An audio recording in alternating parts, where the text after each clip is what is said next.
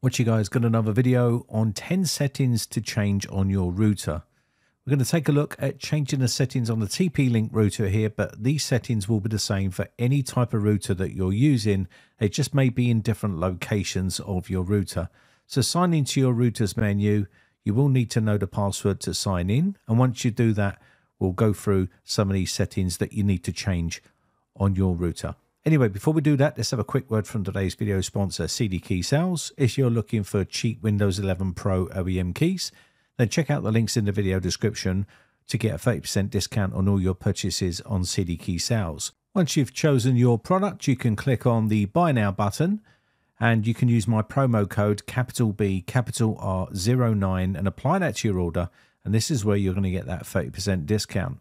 Once you submit your order, they will then send you your key. You can either use that key to activate your version of Windows like you see on the screen, or you can upgrade from Home Editions to Pro Editions using that key.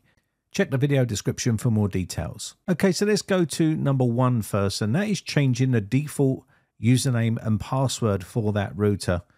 Once you've got your router, you want to make sure that you change the default one because it is a major security risk if you don't change it, people who live close to your Wi Fi network could quite easily guess uh, what that password is if they know what router it is, and they would be able to then sign straight in.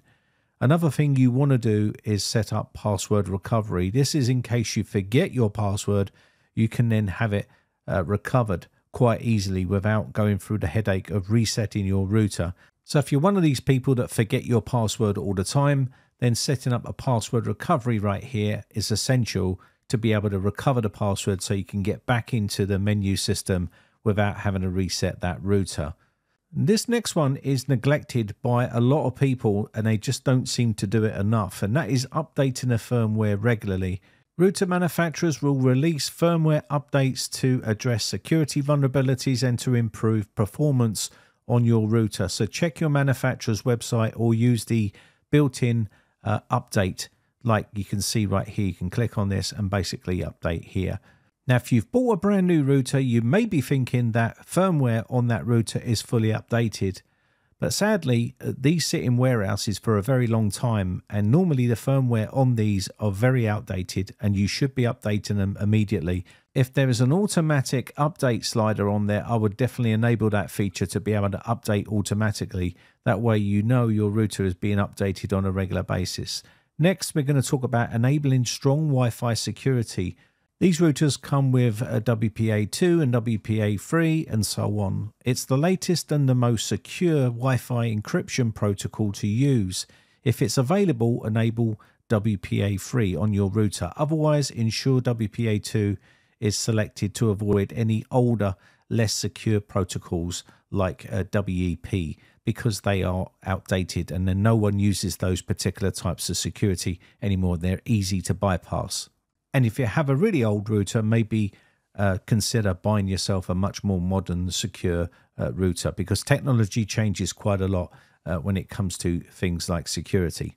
While you're in this section, you may want to choose the right frequency band, which is either 2.4 gigahertz or 5 gigahertz or even 6 gigahertz now. This will obviously give you better performance depending on what settings you want to use. I've made videos explaining what both of these are, so make sure you choose the best one that suits your needs. Another good feature is hiding the SSID. This will hide your network name on the network, so you won't be able to see it, and neither will anyone else. If they're searching for Wi Fi networks near them, they won't see yours because it will be hidden. So that's another good feature if you want to add that on uh, once you've got all your network all set up. Now, this next feature is not for everyone, but if you do have people using your network, it's best to set up a guest network. This can create a separate guest network uh, rather than them using your main network. So you can set up their own password and it isolates guests from your main network and devices to keep you safe. This adds another layer of security, especially for smart devices. So that's always advisable to set up. It can impact your network speeds if they are abusing the network speeds on the guest network. So bear in mind you might want to set up some sort of throttling and things like that to uh, you know restrict how much bandwidth they can have on the guest network. If you have family members coming round your home, you can have a QR code set on the fridge or something like that. They can go up there with their phone, scan it, and they'll be able to join the guest network and be able to use it uh, while they're in your house. And once they leave, uh, you can kick them off the network.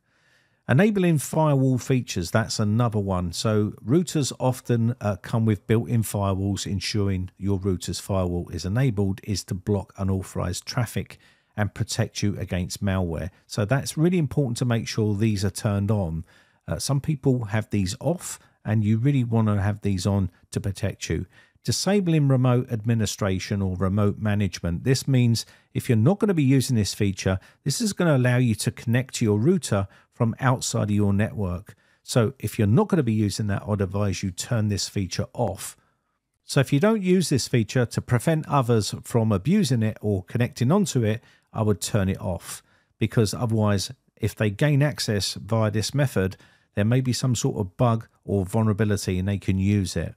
Also, make sure you disable unused features. There's tons of them on your router. Uh, UPnP is one that you might not want to uh, leave on. You can turn this off right here. If you have any other sort of features that you've set up in the past that you're not using anymore, go through those and uh, disable and delete all of those and remove them from your router settings because it's a security risk at the end of the day.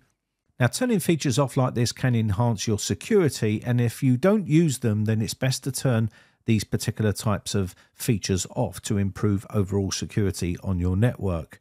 Also, it just alleviates a lot of uh, CPU usage on the router if you're not using any of these. So look for any sort of features that you're not using and turn them off. For instance, port forwarding on an old Nextcloud that I don't use anymore you're best off just turning this feature off and deleting it from uh, from your network if you're not using it. If you are still using it, obviously leave it on, but if you're not, then remove them. There's no need to have a port forwarding on a feature that you set up some time ago that you're not using anymore. So just remove it from the menu and from the settings inside your router, and this way uh, it will be a bit more secure. Disable Wi-Fi protection setup, WPS. That's another one that you definitely want to do. This is on by default and you definitely don't want to be leaving this on. WPS simplifies the connecting devices and it can be very useful, but it's also very vulnerable to brute force attacks. So disabling it enhances your network security. So that is 10 settings to change on your router. This will help enhance your home network security and optimize its performance. So consider adjusting these uh, router settings at your own leisure. These are just some of the settings that I like to change on a router when I'm setting it up. Also, keep tabs on that firmware. Make sure that's fully updated on a regular basis because there is some vulnerabilities that suddenly get found for routers and it's always good to keep them updated. And that's probably one of the things that a lot of people do neglect.